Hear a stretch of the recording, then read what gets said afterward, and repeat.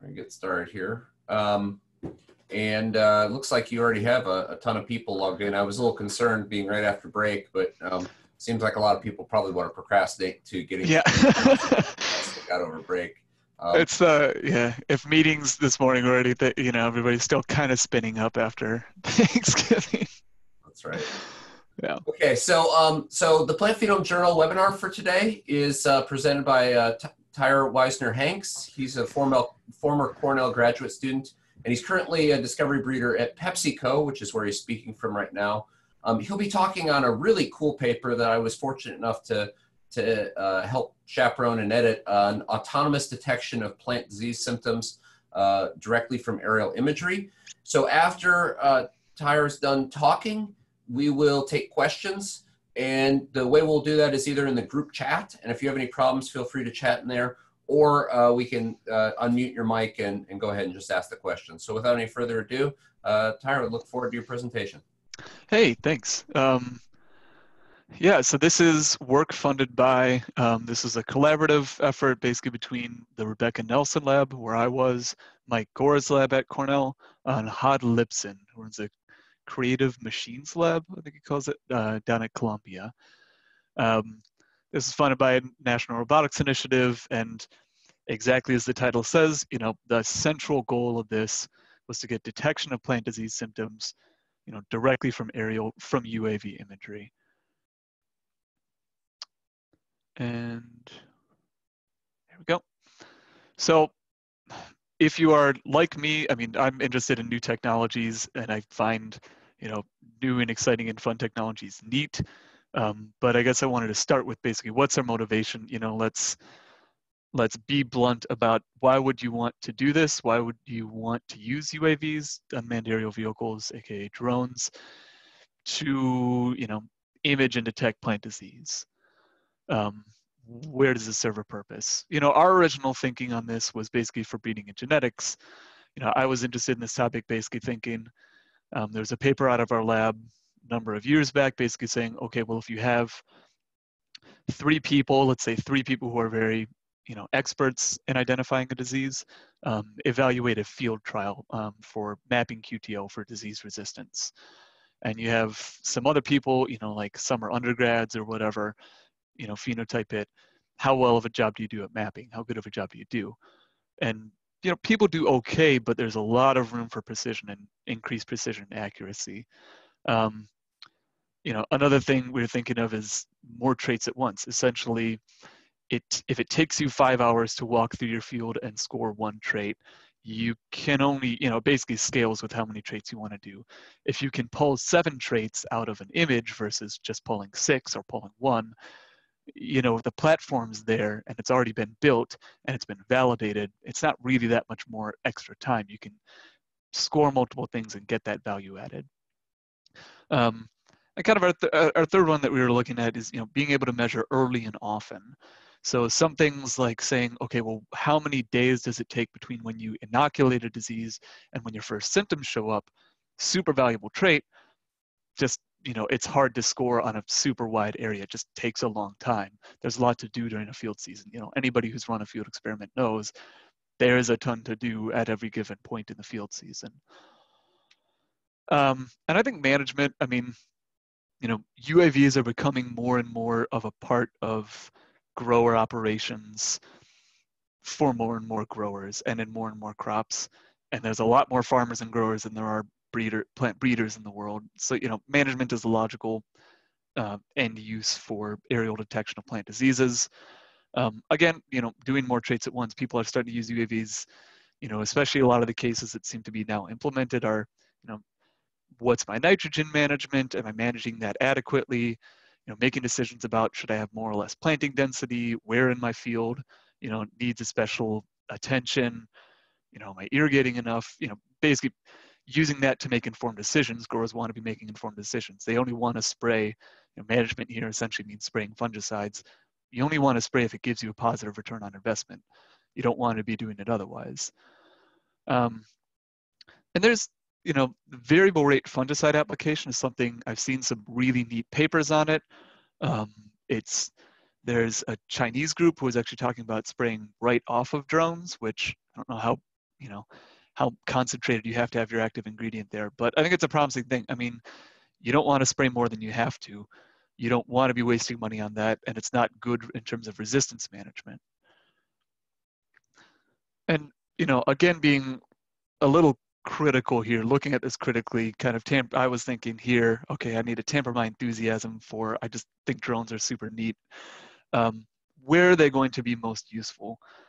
I think kind of generalizing. Let's you know, there's a few areas where it's like, okay, it's going to be more useful here, and it's not really going to be useful in these applications for management. That is, deciding when and how much and what you're going to use for fungicides. Um, if you're talking about reactive spraying, you know, saying, okay, well, disease is a little bit worse here or this year, you know, I will decide whether to spray or not. It's obviously going to be more useful. You can use that to make the decision. If you're doing preventative spraying, so, you know, um, late blight in potato, you know, if you see a lesion, your field is toast. You need to be having a preventative spray regimen if you want that field to live.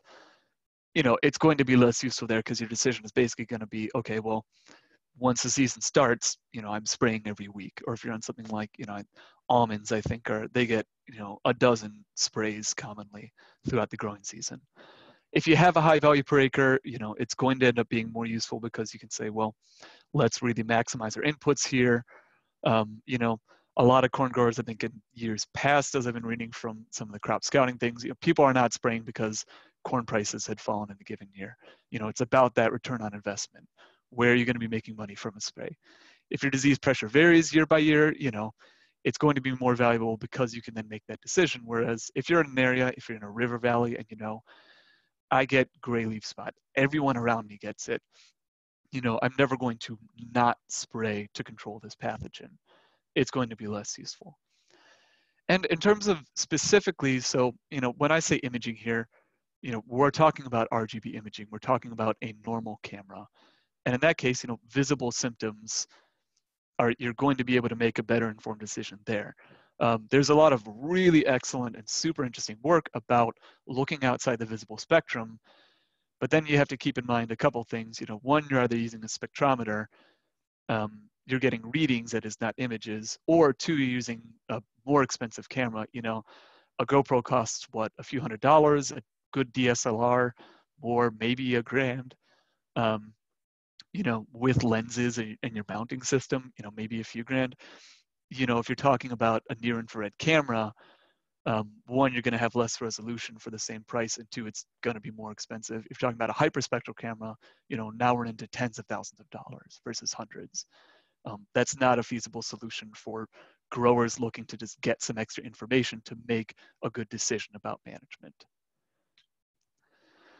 A lot in here, but basically I think there's been a lot of interest for a long time, for a number of years, in using machine learning to basically recognize disease symptoms, plant disease symptoms from aerial photography, for aerial disease phenotyping.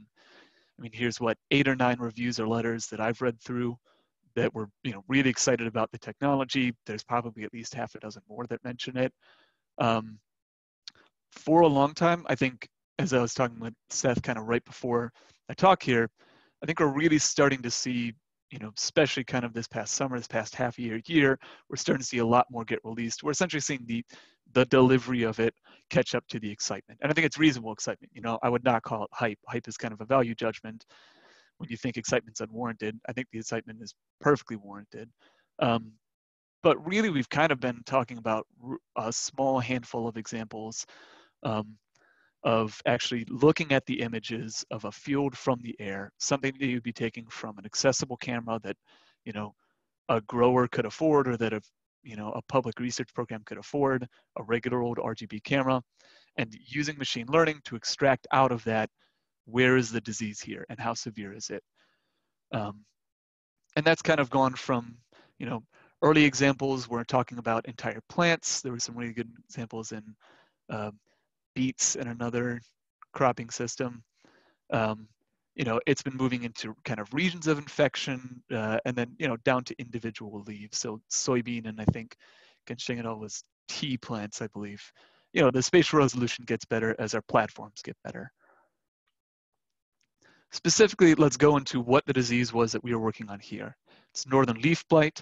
here's the symptoms. As you can guess, it is a foliar disease. It's a leaf disease. Um, it makes these large necrotic lesions. So, you know, they'll start out smallish, but pretty soon they'll be, you know, say one centimeter by five centimeter. Um, and they grow and they coalesce. You know, it all depends on how bad the infection is, the conditions, how susceptible the plants are, etc. Um, but, you know, obviously having a bunch of dead tissue on your leaf is not good for your yield. It's not good for your silage quality. Um, and so basically, I mean, the reason we were looking at NLB was we, we were already studying NLB, but why I think it's a good test case here um, is two things. You know, one, it's tractable because it has these big visible symptoms. If we're talking something like rust, you know, which is an important, super important pathogen for, you know, rust pathogens are common in a lot of different crops. You know, you're trying to identify something from the air. The pustules are a few millimeters wide. You know, there's a lot of important diseases on corn, on field corn, on maize that are have these small symptoms yeah on like a larger setting you could be you know you can see okay well this leaf is yellow but in terms of saying okay here's an individual symptom that i can see that i'm pretty confident i can see from the air you know it's tractable when they're larger and they're pretty distinct like this and the second is you know it's economically important. We want to be working ideally on something where you know if we deliver it we can say well this is a concern for growers. And northern leaf blight is a concern for growers. Um, there was a really interesting kind of amalgamation from a bunch of different people working in um, uh, in extension and disease management you know basically of okay well corn diseases from 2012 to 2015 and what are kind of the estimated losses yield losses and NLB was you know getting worse over time 2015 it's about 2 billion dollars in losses um, I don't know kind of what it's been across the Midwest you know 2017 and beyond but it's basically one of the top diseases that growers are concerned about across US production areas. Here's, I think for illustration, you know, seeing the photos always does a lot. Here's a particularly bad infection um, on some lodge corn that was, I mean, this is just down the road. Uh, our lab manager, Judith Kolkman, uh, took a photo of this, you know. It can get pretty bad, especially if you have a susceptible variety, which this was. So we have the motivation there. It's a logical disease, and this is a you know an important thing to study. It's it does have a lot of practical applications. Oh, excuse me. So what's the project outline? We have field experiments. You know, we're already growing diverse corn lines of various types. You can see hybrids up here that look really nice and the kind of scraggly inbreds here in the bottom of the picture. But we're growing these field experiments. Let's image them with drones. You go through each of those images and you have human experts, that is you know, basically me and a postdoc at Mike's lab, um, then postdoc at Mike's lab, going through and annotating, okay, here's the lesion, here's the lesion.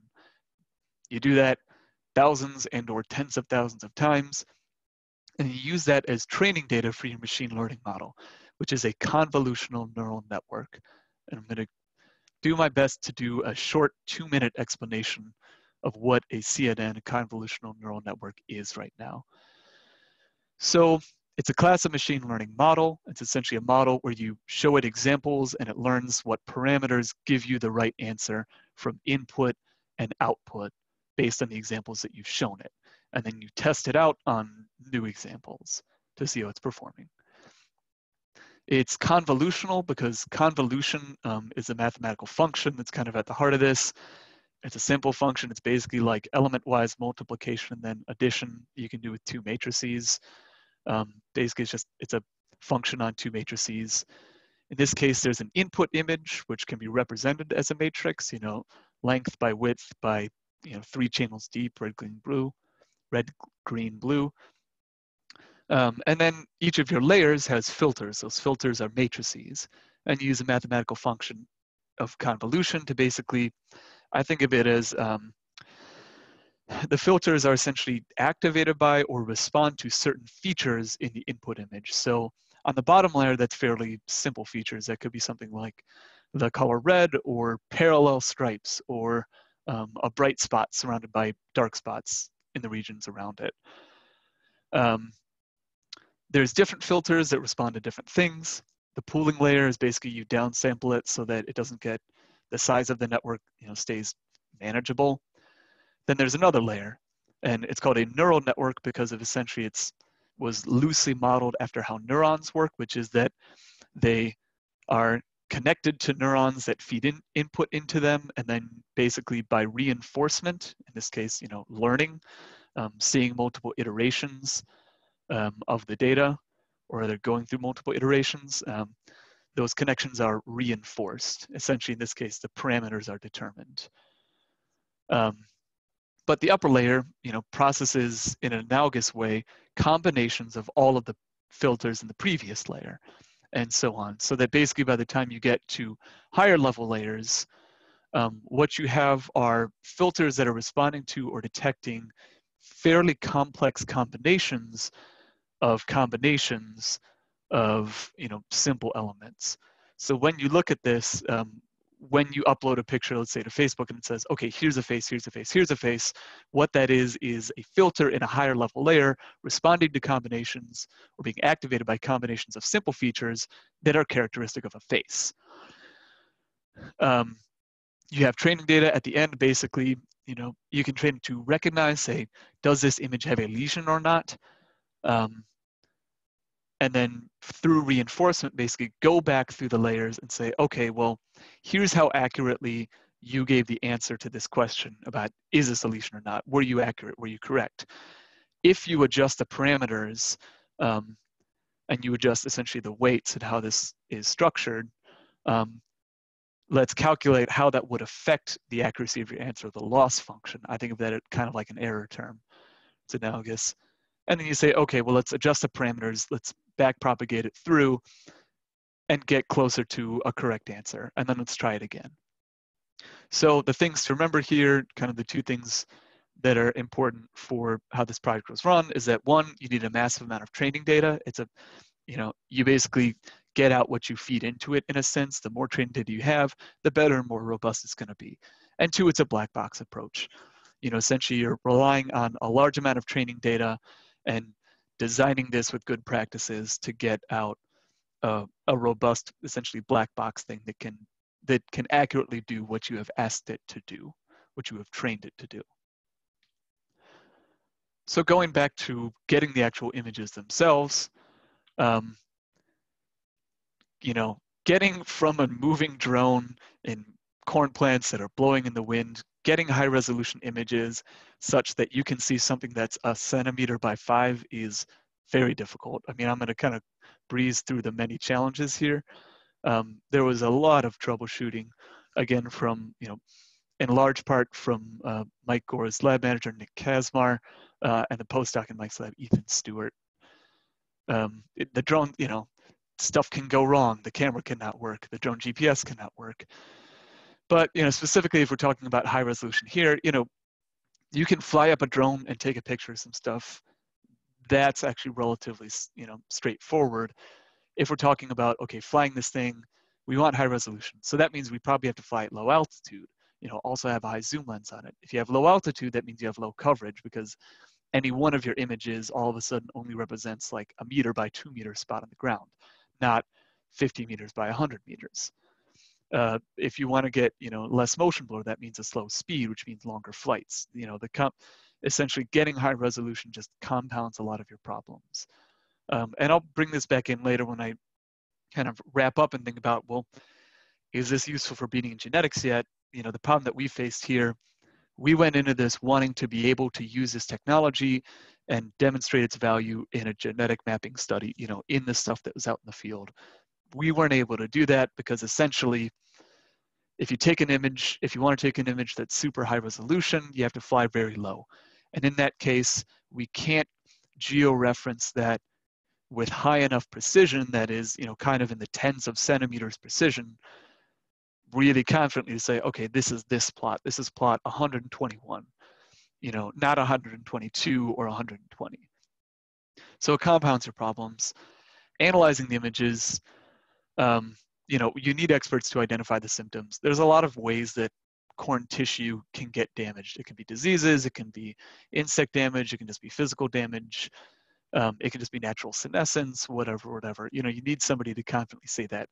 You need tens of thousands of examples to do that, which makes this just kind of hard to outsource. Um, and I'll bring this in later, but basically, you know, the method that we ended up going using that worked super well was split it up into two tasks, have experts find the symptoms and kind of just say, okay, they're here, they're here, and then have non-experts come in and say, okay, let's draw a line around each of the lesions. Do this in much higher fidelity. Um, but you know, we don't have that to rely on.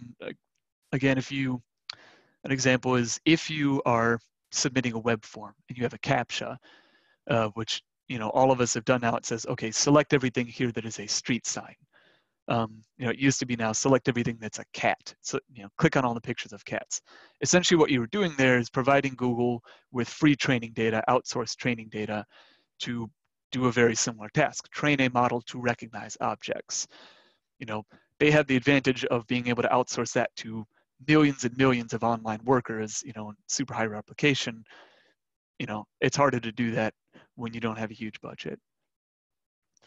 The human annotation, what does that look like? You know, here's an image, it's a nice image, early in the season, dark green leaves, pretty shady out, very clear lesion distinction.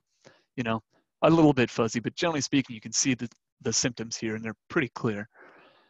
Okay, you draw a line, you draw another line, and you keep drawing, and you draw them on every single lesion there. And so essentially you just hunched over a screen, drawing lines uh, down the axis of this lesion. They're long and skinny, so what we started doing is just saying, okay, let's just mark the major axis of it. You do that 100,000 more times um, until you cannot conceivably stomach looking at any more drone pictures of lesions. Uh, and then we use that as the training data for the neural network. So this is kind of the, the first step, what we would call the expert trained model. Um, and this is again coming out of the, uh, the TPPJ paper here. So I'm going to, because I have a lot to cover, I'm going to gloss over a little bit of the model construction. Um, you know, see the paper if you want to know more about this. But the essential steps in it. First, we're talking about sub-images here because the images themselves have, you know, oftentimes like a dozen or even 50 up to 100 lesions. They're, you know, you can have a lot of lesions even in a small like ground area. So you split them up into sub-images because otherwise if you say, does this image have a lesion? Well, yeah, but that's not super helpful because where is it? How big is it? Etc. So you talk, we have crops of sub-image crops is what we're talking about when we talk about the training data. Um, there's random modifications, basically scaling, rotating and stuff to make this more robust in the end. And then there's a lot of steps here that are just kind of summarized as train the CNN. But essentially, you choose, you know, you intelligently choose parameters for the CNN. You design it how you think should be good. Um, you then train it to recognize. And what we're training it to do here is say, if you present it with a small portion of an image, say, is there a lesion in this subimage that you're looking at right now? From that, we can kind of finagle that into, okay, well, where is it in the image? And we can do that by basically saying, here we have a CNN what it is trained to do is tell you if it's looking at a small square subimage or a small square image, is there a lesion here? Well, we can kind of wrangle that into saying, okay, well, where are the lesions in this image? By taking it, you know, applying it in the top left corner, is there a lesion? No, move over 100 pixels is there a lesion? Move over 100 pixels and basically just do a grid search, a, a sliding, you know, a sliding window approach over a test image. And that gives us out these heat maps.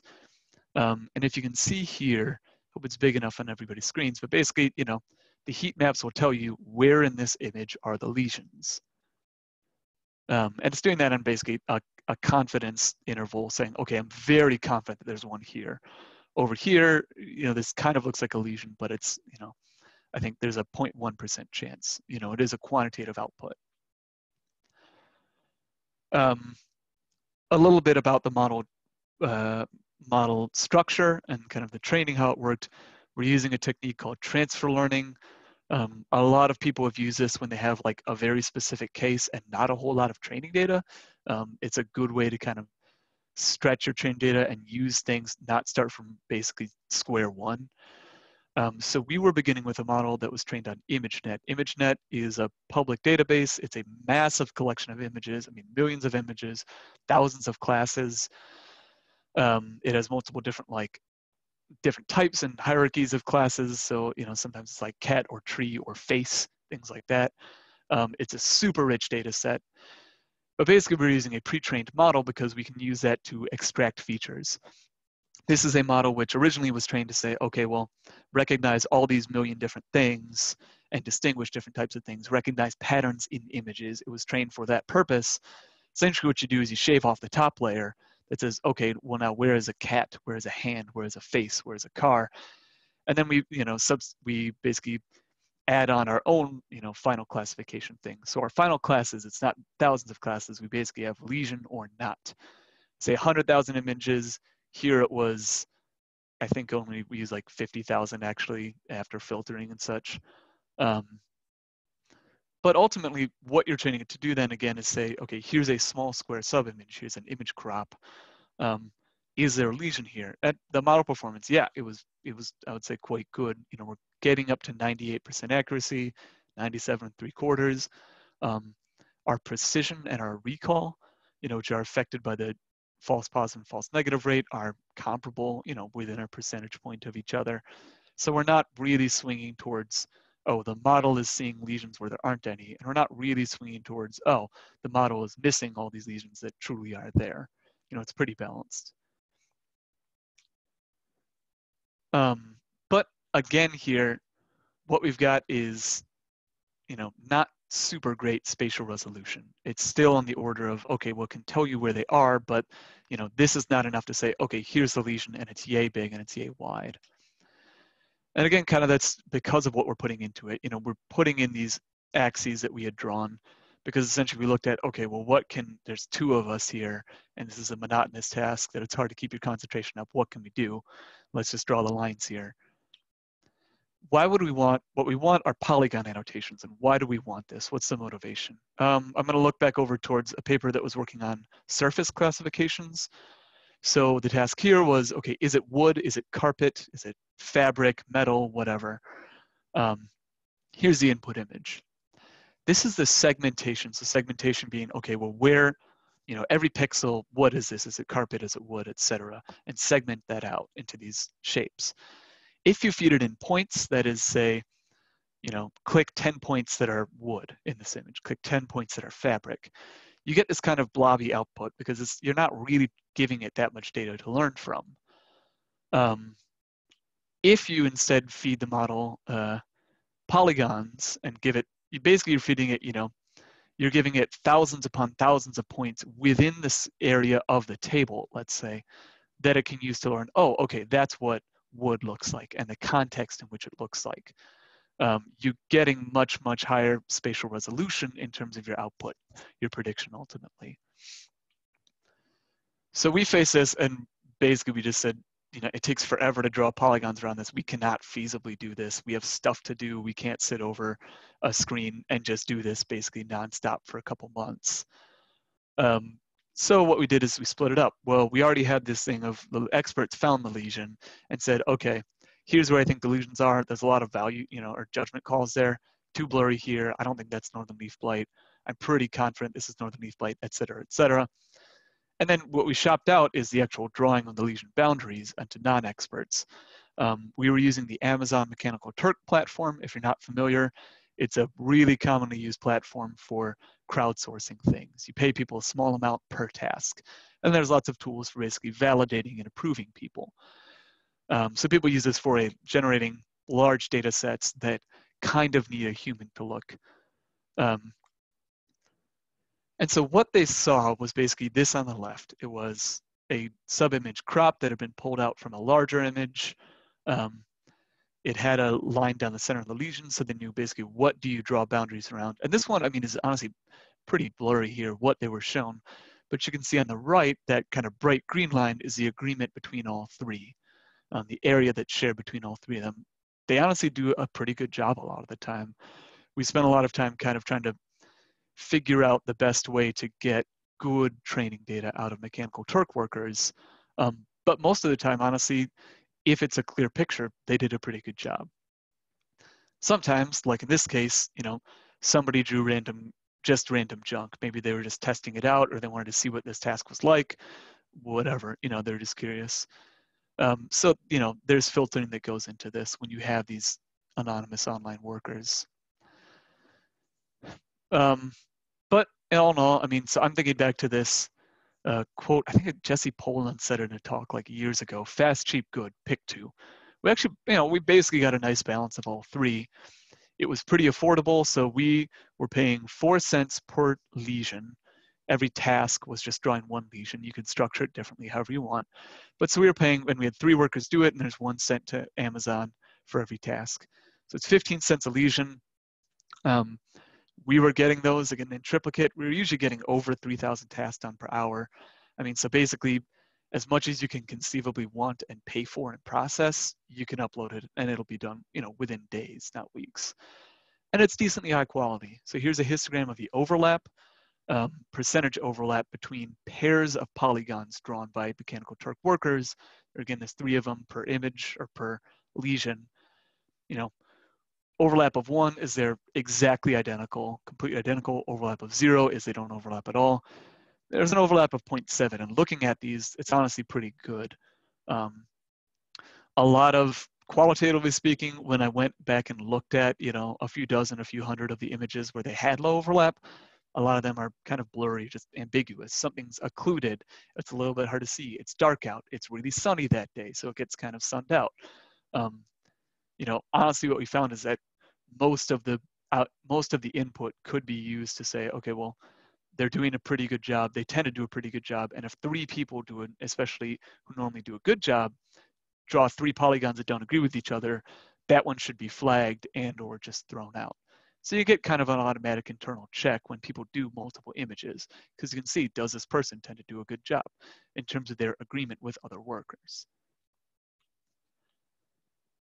So what, how do we use this overall in the end? Well, it's a pretty similar setup, basically steps one and two.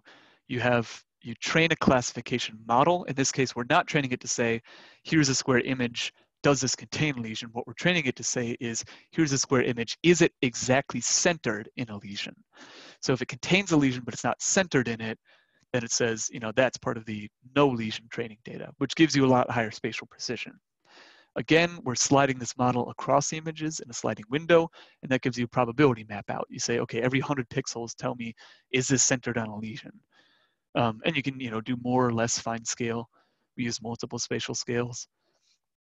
The step three, which is new, is using a conditional random field, which is basically a model which combines the heat map, the probability map, and the input image to segment the image into the two classes. So it's saying, okay, well, this was predicted to be high confident, um, high confidently uh, as a lesion. But we know there's some wiggle room and it's right, but it's right next to a bunch of pixels that look a lot like it. Okay, well, this is gonna be a lesion. Um, and essentially that gives you the kind of fine scale segmentation pixel by pixel that you we're really interested in at the end. This, I'll give a caveat, this is kind of an, politely speaking, it's an old school way to do it, but this is a little bit of an outdated method that I picked. Um, you know, modern methods would basically, rather than saying, well, let's train a model to classify things based on square images and then kind of force it to give us what we want, which is segmentation in the end, modern models will basically say, let's go straight to the segmentation. Give me a model which is done based on segmentation. The advantage here to using this kind of heat map, you know, classification, heat map, conditional random field to segment is that we can make, because we are already generating heat maps from the, uh, you know, the expert trained model, we can make easier comparisons. We can isolate the effects of crowdsourcing and say, okay, well, here's this extra step. You know, if somebody's interested in doing this on a different disease, is it worth their trouble to set up a crowdsourcing platform? And I think the answer is absolutely yes, and we'll, we'll you know cover that in the next few slides. Um, but allowed us to basically isolate that out. Newer models. Um, so if you check out uh, Ethan Stewart, and Mike Gore's former postdoc, He's got a paper, I think, forthcoming or preprint over in remote sensing where he was using a different model called Mask RCNN, um, just based on the lines and saw some pretty awesome results there. You know, newer models can do a better job faster. But I mean, that's the kind of advantage of let's treat high throughput phenotyping, let's treat phenomic data like genotypic data. Let's treat it like other machine learning tests. You know, it's a resource to be shared. I think we can see if anybody's familiar with the Plant Village data set, which is a well curated, super large data set of plant disease images. I mean, we're up to dozens of papers, I think, now that are basically trying out different methods, seeing what works, seeing what doesn't work, looking at specific cases. You know, that's the point and the beautiful thing about like sharing and publicizing your raw data. So what does these richer annotations get us? You know, I might say this is the impact of crowdsourcing, but really what crowdsourcing gets us to is it's feasible to get these polygons, these richer annotations, without just absolutely draining your time and energy. Um, you know, it basically becomes feasible to get that. So here on the top row, we can see, you know, based on the expert trained model and the crowdsourced model, you know, we've got an annotation here. It's just a line down the middle. Our heat map is accordingly, you know, because you can only do so much, when you basically just have like a rough outline of, okay, here's where the lesion is, it's in this area, your heat map is accordingly, you know, a coarser spatial scale than when we're on the crowdsourced image. Um, you know, when when you feed into, okay, well, here's exactly where is the lesion, inside the lesion and not, you get accordingly a more fine spatial scale of prediction out. So this heat map again is a quantitative prediction of how confident are you that there's a lesion right here. Um, and the CRF, the segmentation, I'll talk the numbers about this in just a second, but basically you can kind of do it, you can kind of get it with a heat map, but the problem is that it's just not a fine enough spatial scale to really narrow down and say, okay, here's the lesion. Whereas when you start out with a more fine spatial scale, you can segment pretty accurately. So the crowdsourced model performs pretty well in terms of classification. That is that kind of initial thing that we uh, that kind of initial thing that we gave it, which is, okay, is it this centered on lesion or not? We're seeing accuracies of 0.97 um, at or comparable to or a little below what the expert trained model was, the one from TPPJ. So a little bit lower accuracy, but a harder task kind of.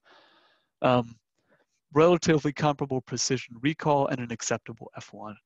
In terms of segmentation, that is okay pixel by pixel did you get every pixel right relative to the crowdsourced you know this polygon which is a ground truth? Super high accuracy um, that's because most of the image is a true negative. That is you know 95% of the image 99% of the image isn't a lesion. So you're you know and the and the model recognizes that so it gets a ton of things right because it says well there's no lesion here. The f1 is a lot lower. It's at 0.71 um, that's still acceptable. It's not great. Um, but as we'll see in a couple slides, basically the overall area, when you look at it, is pretty darn good comparing this segmentation to the crowdsourced ground truth. And then what do we get in terms of effects? Well, you know, you get increased spatial, resolution. Um, segmentation is now possible. So in terms of segmentation, F1 0.76 is actually after we drop a few examples where humans had missed things.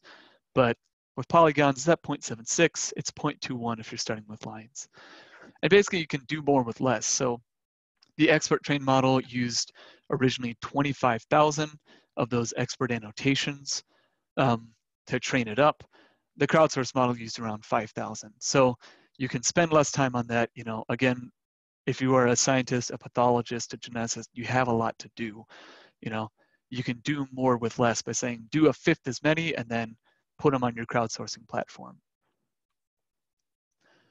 Um, the when you look at the actual area, percentage proportion rather, of an image that is classified as lesion versus non-lesion, what you can see here are the CRF, this is a, a like final segmentation and the ground truth pretty high agreement. Um, you know, are almost at 0.9. Um, a one-to-one relationship. So between the segmentation here and the ground truth, it's not like it's overestimating. But then you see this funny set of points right here. Basically, it's seven images, seven parent images that have multiple lesions in each image. So you're talking a few to maybe even like 50 lesions per image. You have seven cases where humans and the model output disagree a lot. That is, the model is seeing lesions where humans saw none. And we went back and looked at those, looked at each of those seven. Five of them, humans had missed things. So either the expert, that is me or Ethan, had missed something, you know, just you drew a lot of lines but didn't catch a few of them, maybe just skipped the image too quickly, um, accidentally, you know, missed a keystroke, or the uh, people who were the mTurk workers happened to say, okay, well, I see this, but they didn't get the entirety of the lesion captured here. Um, two of them were false positives, so these are basically senescent leaves where the model output said, oh, there's there's northern leaf blight, but it's just a senescent leaf. But basically, there's seven instances where they disagree, and in five of them, you know, our weak human brains had just missed something. You know, humans make errors. Um, and those are essentially caught and the model outperformed the humans. When you drop those five errors, the, you know, the R, the correlation between the proportion of the image that is being classified as lesion or not, including those two where the model was wrong, you know, it raises from 0.89 to 0.94. Um, this third one that you're seeing, the heat map, is basically, okay, well, what if we skip this kind of complicated to optimize CRF step and just took the heat map and basically segmented it out. And it performs actually, you know, moderately well, um, except it tends to overestimate things because it's a little blurry. So here's some, everyone likes seeing just some nice examples. These are cherry picked. I picked them because they were good, clean input images. But, you know, if you can see them closely on your screen, you know, basically we're, we're really down to the millimeter here. I mean, we're getting these things very, very finely, tightly defined. Um, these are raw, uncropped images coming straight off a drone. We can now do, you know, basically the core of what we set out to do, the very first step of what we set out to do, which is, can you fly a drone, image plants, and get an output where it says, here are your lesions, here are how big they are, and exactly where their boundaries are. And it's not being caught up by, I mean, if you're looking through here, there's senescent leaves, there's flea beetle damage, there's just physical scarring, there's tassels, which took a long time to, you know, when you're first starting out, we said, okay, well, this is kind of count because tassels can kind of look like a lesion. There's lots of things that for cruder methods would it would get caught up, but here it's performing super well. Zooming in on some non-biased examples, so these are 12 that I randomly selected from our test set of images. Again, you see, you know, mostly speaking, it's pretty precise down to the millimeter. There's always going to be some ambiguity. These are images can be blurry, they can be a little bit shaded out or too sunny. Sometimes you get really poor performance here, like this is probably, I don't know the, remember the context, but I think this one was a senescent leaf that also had some pretty clear NLB things. But broadly speaking, we're getting very, very nice fine segmentation. And again, this is agreeing very well with what the ground truths do, and it's getting a lot of things that humans miss. So wrapping up here, future perspectives. What have we achieved, you know, in this project? We had a lot of goals that I think, you know, we had goals that we did not meet, but our core goals were, you know, that we succeeded at were we can detect lesions of this disease from UAV images. You know, we can do that with fairly high success rate. We can segment the image into now lesion and non-lesion at a spatial scale. So you can now go in and say, okay, well, what percentage of this image is covered in lesions? Um, and basically, you know, it is not fun to draw. I drew 85,000 lines on, I don't know, 15,000 corn images. That is not fun. It is mind numbing you know, we have now demonstrated that you can do a lot less work and crowdsource the rest and get higher resolution annotations, and that actually works way better. Um, you know, if somebody wants to implement this in their own pathosystem, they don't want to be doing that, just drawing lines for a month or two. You know, we all have other things to do. So, you know, crowdsourcing ended up being super useful. Where to go next? I mean, I think specifically for, let's say, corn, you know, distinguishing between multiple diseases. This is entirely about northern leaf blight, there are a lot of other target diseases. A lot of them, you know, if they have smaller symptoms like gray leaf spot or any of the rust diseases, um, you know, eye spot, those are going to be a lot harder to get from drones. I think we'll have to, you know, and there's not a clear, often not a super clear delineation for some of these between what's a diseased area and what's not. You know, it's not a super clear boundary. I think that's going to be an interesting frontier. Um, the advantage is that you can recycle, you know, annotations and combine things from different people. Um, second, we were really interested in testing heritability. I mean, for breeding and genetics, if we're talking about improving over what humans do walking through a field, you know, there's no substitute for walking near field trials and keeping an eye and being there in person. But is this going to be better than gauging things by eye, saying, okay, that's a one, that's a seven, that's a nine, you know, is, is used in lots of diseases. We use percentages, but, you know, is it heritable? Do I map things better? Is this a trait that's more heritable or more replicable? Is this more you know, is there less noise here? Um, we weren't able to test that, but I think that's a, you know, kind of the major question for it in terms of its things adoption into breeding genetics. And then third, I mean, improve models and practices. You know, people I'm sure are going to take this exact same data and within two years, you know, a computer science master's student will say, okay, well, I did this way better method. And that's ideal. That's, I think we see, we've now seen with, um, with Plant Village, just how powerful that can be. You know, there's a ton of new and fascinating things going on. You know, that's how the computer science field works. There are reference data sets um, that everybody's using to benchmark their performance. Um, we saw, you know, Ethan succeeding and getting some really awesome results with Mask RCNN. You know, there are new models that are published out that are kind of setting the benchmark for similar tasks, identification and segmentation all in one. Um, but you know, that's the reason why now we need to have phenomic data uploaded and available like genomic data always has been. Um, and is this useful? I mean, this is somewhat of a critical downer note, but I think, you know, breeding and genetics, let's be realistic. This platform that I have just described coming out of this grant, it's not useful as is for breeding and genetics because we were not able to get, you know, physically tying an image to a plot in the field, saying, did this come from plot 178 or 179? You know, that will be a more complex task that just, I think one of the big takeaways from this is that setting up these platforms is a huge investment and getting them exactly how you want and making sure it's right is a huge time investment. You know, I think it's worth it, but everyone needs to be realistic when they're approaching this task. I think management, I mean, for corn disease management, you know, the value added comes in telling growers the information that they need to use that they need to make a proper decision, to make an informed decision a picture of the field does not really get anyone anywhere. What matters is you know being able to extrapolate out from here. Okay, yeah, this is you've got more disease here, you've got less disease there, and I think this is pretty close to you know useful in the field in terms of corn production. Um, I think it would probably have a lot more value in something you know like a super high value uh, spray intensive crop like a lot of fruits or vegetable crops. Um, grapes comes up a lot in terms of people's excitement about this because um, spray regimens can be very intense and there's a lot of diseases to manage. Um, but in this thing, I mean, I see this as pretty close to being able to be implemented in terms of management. Um, you also have the advantage there, you don't need to get every single square foot of your field.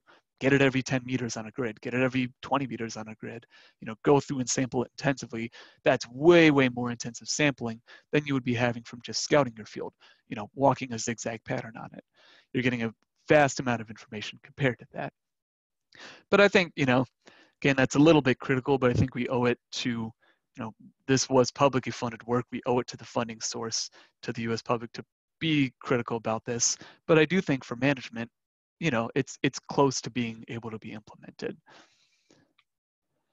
So with that, I'll move over to thanks and questions. So thanks from the Gore Lab, you know, there was a massive amount of work just getting these images. That was, you know, two summers of the grant was getting sufficient images. Uh, Nick and Ethan from Mike Gore's lab really worked super hard to get these drones up and running. You know, when things broke, when cameras did not work, they uh, sorted all that out.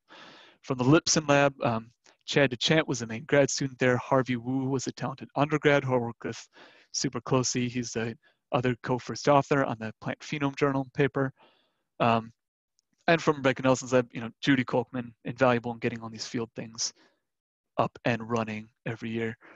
Uh, and funding for this all came from the NSF National Robotics Initiative. And with that, I will move over to questions.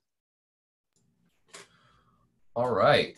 Well, thank you, Tyr. Very innovative, uh, very innovative work and uh, great seminar. Um, what we're going to do now is open it up for questions for the next um, oh, 10 minutes or so.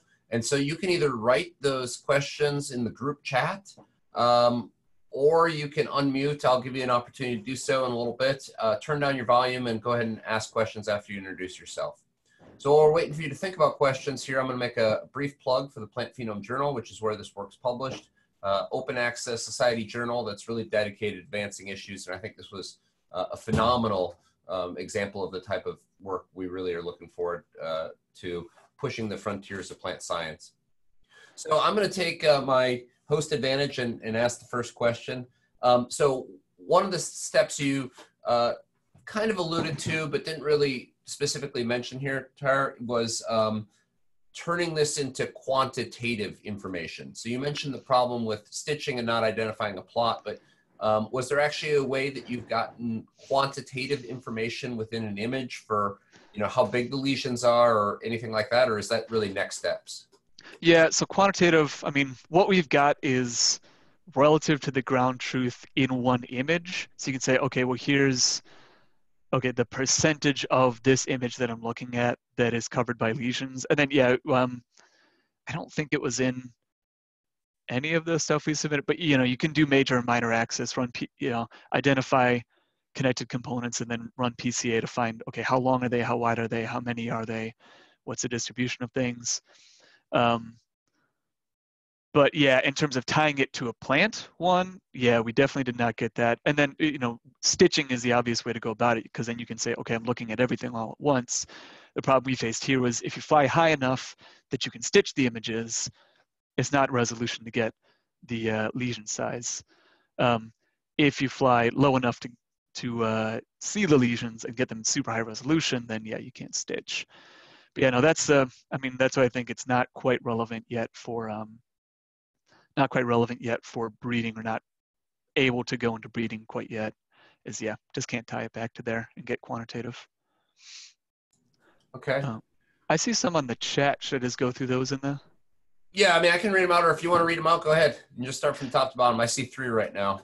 Yeah, I see three. Yeah, I will start. I'll read them out here. Um, so Scott Wild had asked, what height level did we fly the drone to get images? And if we could redo it with a better resolution, how much of a difference would you expect? Better resolution camera.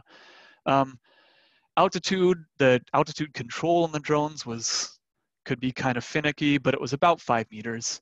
Um, so you know you don't want to get too low because otherwise then you get uh, you know basically the the, the actual propellers and the downdraft from the drone will start to move everything around and then you get motion blur um, and that's annoying. Resolution camera actually was not the main determinant. The main problem was motion blur. Um, so we had a pretty beefy lens on this. Um, it was a DSLR like most all these images are taken with a DSLR with a pretty big zoom lens um, the zoom lens to get it so that you could fly higher but still get good resolution. The main problem was you know you'll get motion blur trying to get those images things you know if there's just a breeze out in the field that was probably the the biggest one. Um, and then of course to solve motion blur you have to fly slowly which means that you can cover only a small area. Um, the next one from name uh, says what platform working with these images?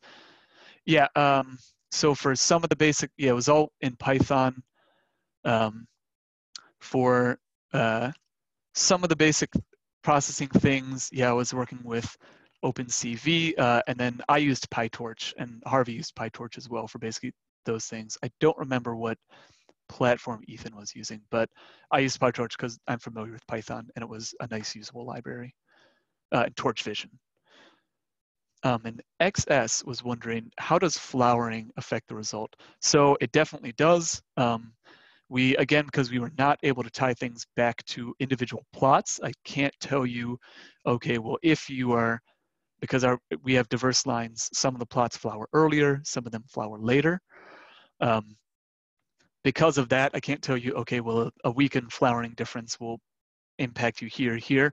But what I can definitely tell you is maturity in general. Well, one, the actual flowers themselves are dark, you know, they die before the leaves do, and they're dark brown, skinny things that overlay your leaves. So um, kind of our first steps into this, which we published in phytopathology based on handheld images, a lot of, you know, dead tassels essentially were a common thing that were mistaken for lesions.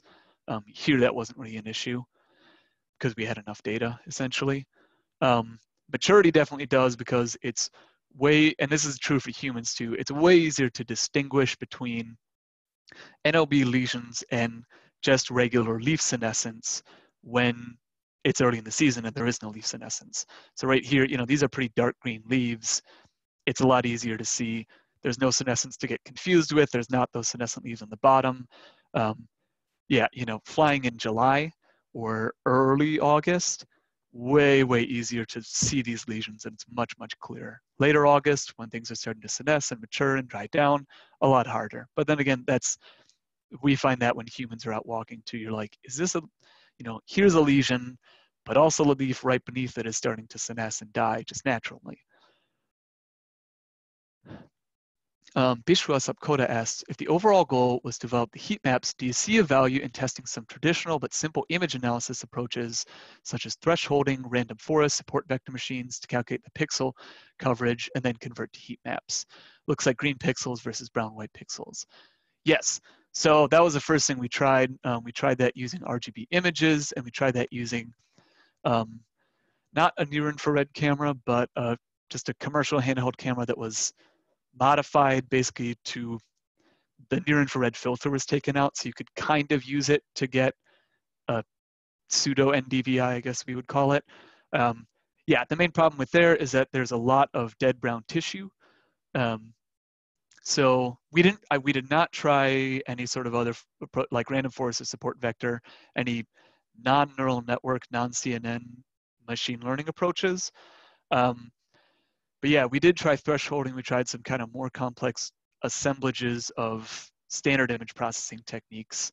Um, so thresholding, uh, Canny edge detection, using like Canny edge detection and then kind of building rules about this. Um, uh, so we tried all, we tried a few of those kind of merged together. The problem was that, yeah, there's lots of sources of dead tissue. It could be physical damage. It could just be dead leaves. It could be the tassels. It could be, you know, any, any number of different things. And so it would just start to catch all those, even when you can say, okay, I have an NDVI camera or a camera that can detect NIR, that will tell me the difference between dirt and plants. You know, you at least get to dead plant tissue and dirt can be distinguished pretty well. But even then, you know, what we would just see is it was impossible to build all of these complex rules about, okay, well, today it's more bright, it's less bright, it's more sunny, here are things kind of shaded out, it's later in the season, etc. Um, it just never worked out super well. So neural networks ended up being the most robust thing by far. Um, and I think that's it in the chat. Did anyone have any questions in person? Yeah, go ahead and unmute your microphone if you have a question you'd like to ask and